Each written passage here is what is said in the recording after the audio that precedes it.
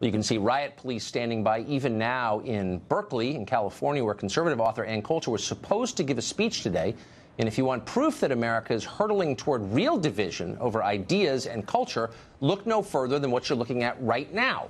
Left wing students and activists made it perfectly clear they're incapable of coexisting with alternative views. Remember when Milo Yiannopoulos tried to visit in February, and this happened.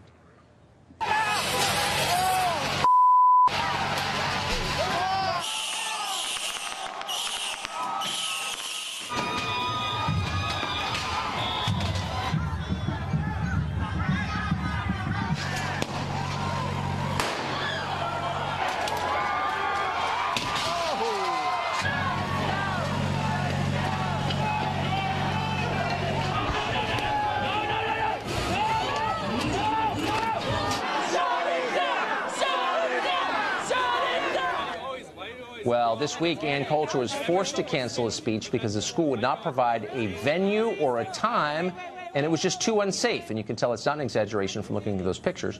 As you can see right now, despite the cancellation, hundreds of people have taken to the streets anyway. Riot police are out in force to keep the situation under control. This is pretty crazy. Ann Coulter is in San Francisco right now, and she joins us live. Um, Ann, just clarify for us, there's been a lot written about this. Why were you not able to speak at Berkeley? Well, they changed, you know, the rules every 10 minutes. Um, I kept agreeing to all of their conditions. They were hoping I would cancel. Um, but no matter how, you know, I had to give it from a hot air balloon at 3 in the morning. And I kept saying, okay, okay, whatever you want. Um, and then they just up and canceled it. And then they randomly rescheduled it. And then my allies turned tail and ran at the last minute when I think we were about to achieve total victory. Um, and so, so was, I didn't my have, understanding is I didn't the, have any sponsors. I didn't have Berkeley. Right. so your sponsors, the but people who Berkeley canceled, right. my sponsors acquiesced. But is it fair to say, bottom line, that the threat of violence is what prevented you from speaking? Well, that's what Berkeley claimed. Of course, you know. there are way, ways of dealing with violence. That's why we have a police force. That insane press conference that that um, Berkeley administrators and uh, Captain.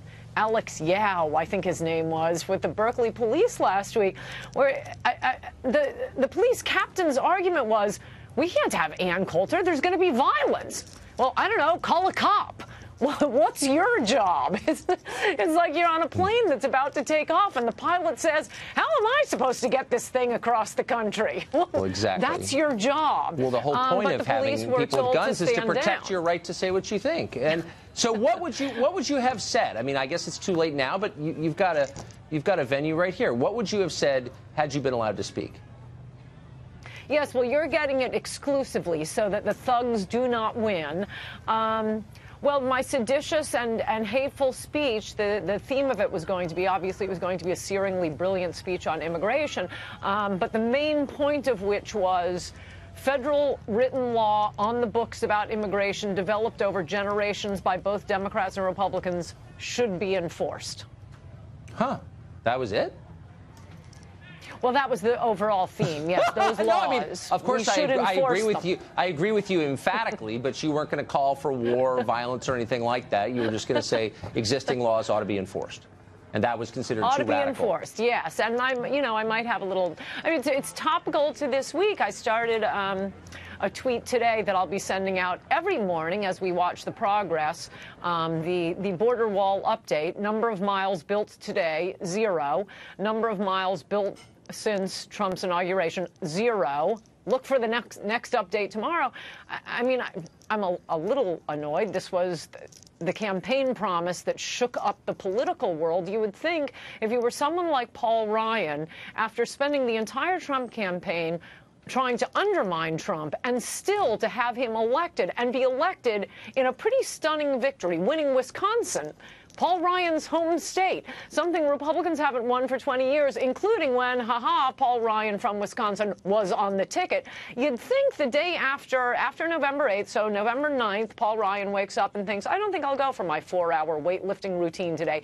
I think I'll start working on the signature promise that just won Donald Trump the election and not wait until April 27th to say to, to the President of the United States, you know, we're going to have to dro- drop funding for the wall um, because we don't want a government shutdown. When, of course, as I wrote in my column this week, they're not funding a wall to avoid a government shutdown. Not having a wall is the definition of a government shutdown. The, the basic purpose of government is to keep us safe. If we can't protect our borders, I'd say that's a government shutdown. Yeah, it does seem like a pretty, pretty basic function of government. and culture. you always have a place to talk here. Thanks for joining us. Thank you.